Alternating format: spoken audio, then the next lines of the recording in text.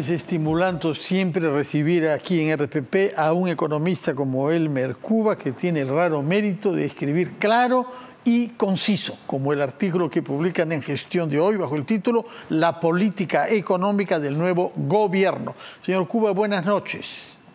Buenas noches, Fernando. Un gusto estar en su programa. Usted dice que lo que ha producido como políticas económicas se puede reducir a cinco puntos en su artículo de hoy. ¿Podría usted explicarnos rápidamente para luego entrar a lo que se prevé como evolución económica? Cómo no. Estos cinco, puntos tienen que ver básicamente con el tema de agrícola y el tema de recursos mineros y hidroenergéticos.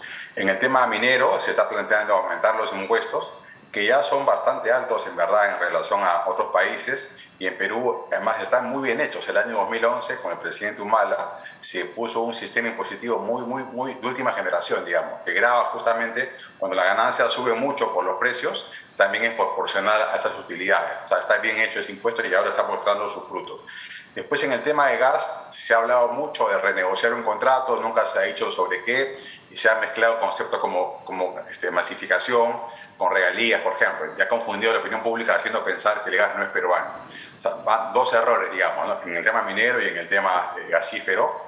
El tercer tema tiene que ver eh, con, un concepto un poco esquivo, de, que para pedirle a la nueva inversión minera rentabilidad social cuando toda inversión minera ya per se los tiene, porque la mitad del impuesto a la renta se queda en la región y toma la forma de gasto público, inversión pública, y tiene muchos efectos también en el empleo. Entonces, eso que ya ocurre no tiene sentido volverlo a poner como un requisito y se presta a mucha manipulación eh, y arbitrario y discrecional de la autoridad. Eh, eh, y el, tema donde sí hay mejores avances, más logrados, digamos, es en el tema agrícola, donde efectivamente obras de infraestructura, de riego, cierto acceso a créditos puede, puede rendir ciertos frutos, pero también hay algo de heterodoxia ahí en el tema, por ejemplo, de un subsidio de los fertilizantes o de manejo de los precios internacionales para beneficiar a pequeños productores locales. Por ejemplo, en el caso del maíz, subir un poco el precio del maíz podría ser bueno para los pocos productores peruanos de maíz, pero contraproducente para los millones de personas que comemos todos los días pollo. ¿No? Entonces, por darle a un grupito pequeño de agricultores, puede afectar severamente, sobre todo a sectores populares, ¿no? que, son esquivos para el consumo de, ese, de, esa, proteína. El quinto punto, usted destaca que se ha practicado una forma de austeridad fiscal. Y es sorprendente en realidad, ¿no? Porque hace notar que el manejo del déficit y de la deuda se mantienen dentro de los márgenes de la prudencia que se ha venido practicando en las últimas décadas. Sí, afortunadamente ahí solamente puede haber continuidad en el manejo serio de las finanzas públicas. Enhorabuena, eh, Pedro Frank está en esa misma línea de austeridad fiscal, pero además ha tenido mucha suerte, en general él y el gobierno, de vivir un año de precios muy altos. Son los más altos en la historia, ¿ah? no, no, no los cinco años de la historia. Nunca ha habido tan alto este intercambio para Perú.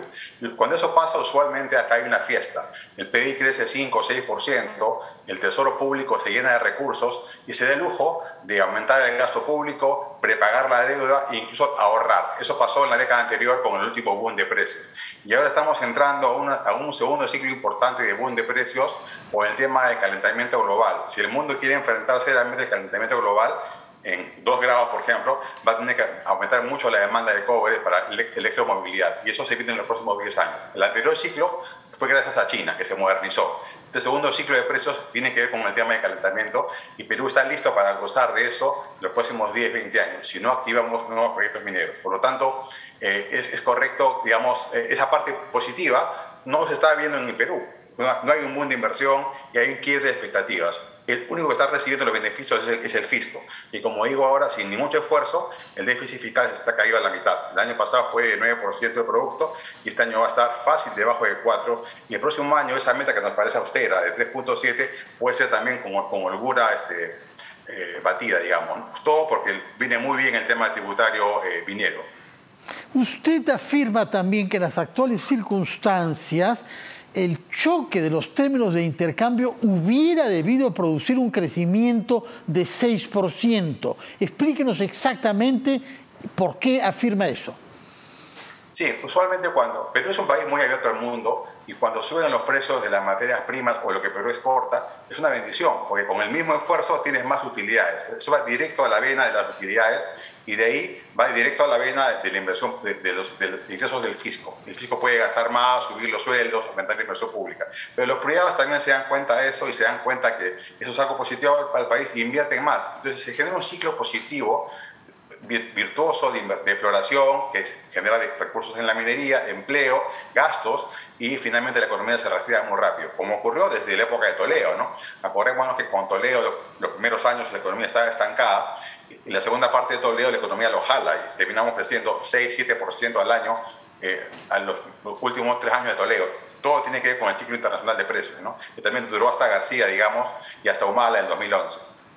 Por otra parte, usted dice que si no logramos, si no haremos, si no, si no hacemos el 6% de crecimiento el próximo año, será principalmente por los factores que generan incertidumbre en la economía. Y destaca como eh, factor principal la amenaza o el anuncio o la voluntad de convocar a una asamblea constituyente que genere en sí mismo incertidumbre y que aspiraría a cambiar el régimen económico que nos ha dado las cifras de los últimos años. Sí, las izquierdas modernas en el mundo lo que hacen es gastar mucho más el presupuesto en los más pobres, lo cual está muy bien. Y, gastar mucho más también en igualdad de oportunidades, lo cual está perfecto. Entonces, las izquierdas modernas del mundo hacen eso y para eso requieren... Y no las derechas, no las derechas modernas. Solo las izquierdas modernas. las derechas a veces tienen otras preferencias, ¿no? Pero en general alguien liberal, digamos, progresista, quisiera efectivamente gastar mucho más en, en, los más pobres y también en las oportunidades. ese es un buen punto, Fernando. Esa no es una bandera de la izquierda, en verdad, para ser totalmente eh, abiertos. Esa no es una bandera solamente de la izquierda. La izquierda se la ha apropiado, pero en general cualquier izquierda buena también quiere eso, ¿no? Y para financiar ese mayor gasto público en educación, en salud, etcétera, requieres ingresos. Y para, que, para tener ingresos requieres una economía bollante. No, las izquierdas fracasadas en el mundo, no, los que no han entendido eso, más bien se apropian de los medios de producción, como el caso cubano o el caso venezolano, o intervienen en los mecanismos de mercado, como el caso boliviano o el caso argentino. Y lo que hacen es eh, matar el crecimiento y por lo tanto se quedan sin recursos. No pueden financiar sus propuestas electorales, generan inflación. Por ejemplo, Argentina de Kirchner hoy día, o de Fernández, tiene una inflación de 50%. O sea, no puede financiar su, su, su, presupuesto público, tiene que recurrir al impuesto de inflación, para no hablar de países como Cuba, Venezuela o Nicaragua. Entonces, esas izquierdas que se equivocan, porque al final hacen más daño al pobre, toman control de los medios de producción o entorpecen el crecimiento. En cambio, las izquierdas exitosas del mundo, que también las hay, más bien se apalancan en el mercado, cobran mucho más impuestos, no matan a la gallina de los huevos de oro y gastan mucho más los objetivos sociales que, tienen. ¿no? Ahora bien, usted dice que para disipar este clima de incertidumbre y miedo de los inversionistas que penaliza la economía y a los más pobres, como nos ha explicado ahora, el gobierno tiene que tomar acciones concretas que inspire confianza. ¿Cuáles pueden ser esas acciones concretas? Para comenzar, olvidarse de, cambiar lo que funciona bien. Lo que hemos visto en Perú en los últimos 30 años es una máquina que destruye pobreza y genera riqueza y genera recursos públicos que nunca hemos tenido en la mano para gastar tanto como, como hoy día. Entonces, olvidarnos de, esa, esa, esa, ese mito ¿no? refundacional de querer cambiar el modelo económico por algo que sabemos que ha fracasado en toda parte del mundo en los últimos 200 años. O sea, no hay manera que eso funcione, ni mucho menos. Por lo tanto, si uno se olvida de, ese discurso absurdo, eso nomás eh, sería cambiar las expectativas poco a poco. ¿no? Y, y más o menos estamos en esa línea muy tímida ya ha comenzado a caer el dólar, ha mejorado los valores del riesgo país, muy tímidamente todavía, a la espera del mensaje de la ministra Vázquez, ¿no? Eso va a ser central si se mantiene en ese discurso como toda izquierda moderna que se precie y sea exitosa además que requiere estabilidad macroeconómica y sobre todo un mundo de inversión privada para generar recursos para el fisco y por supuesto empleos. ¿no? Entre las acciones que se esperan también es que el Congreso, en este caso ya no el Ejecutivo, elija, designe a sus tres representantes en el directorio del Banco Central, del que usted forma parte, justamente elegido por el Congreso hace cinco años, un poco más de cinco años ya, está fuera de mandato. Eh, ¿Cuál es el perfil que deben tener, vista la experiencia que ya ha acumulado usted en el Banco Central? ¿Qué perfil deberían tener los tres miembros del directorio que hace falta designar y cuya designación está tardándose? Básicamente, economistas que a lo largo de su carrera este, han tenido que ver con la macroeconomía, ¿no? en particular con la parte monetaria, financiera, pero básicamente la macroeconomía como que, hayan vivido la macro en el mundo privado, en la academia, en general, o en, organismos públicos internacionales, o estoy jubilado, volviendo a Perú, ese tipo de persona es clave ahí, ¿no? Eh, para que pueda estar. ¿Usted sabe por qué es que cuando se temía que el Ejecutivo demorase en designar a tres miembros, es el Congreso que se está demorando?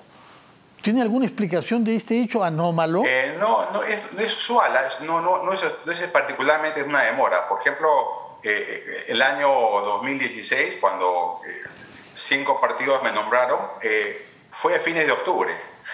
¿ah? Y eso que había más facilidad, porque había un partido dominante, ¿no? Y, y, recuerdo también hace, en la época de Humala, el Congreso nunca nombró, nunca nombró hasta el tercer año fue peor todavía, ¿no? Y, los anteriores tuvieron que quedarse ahí para dar quórum al, Banco Central. Recién entraron colegas a mediados de, la época de Humala. Bueno, veo que tiene una memoria buena para recordar que las cosas negativas que estamos viendo ahora, que es esta demora, porque genera incertidumbre, tienen antecedentes numerosos. Muchas gracias, Elmer Cuba. Felicitaciones por su artículo y gracias por la molestia que se ha tomado en explicárnoslo acá, en las cosas como son. Muy buenas noches para usted. Buenas noches también para todos ustedes que nos sintonizan. Pasen una buena noche y nos vemos mañana, si así lo desean, a las 7, a una nueva versión de las cosas como son.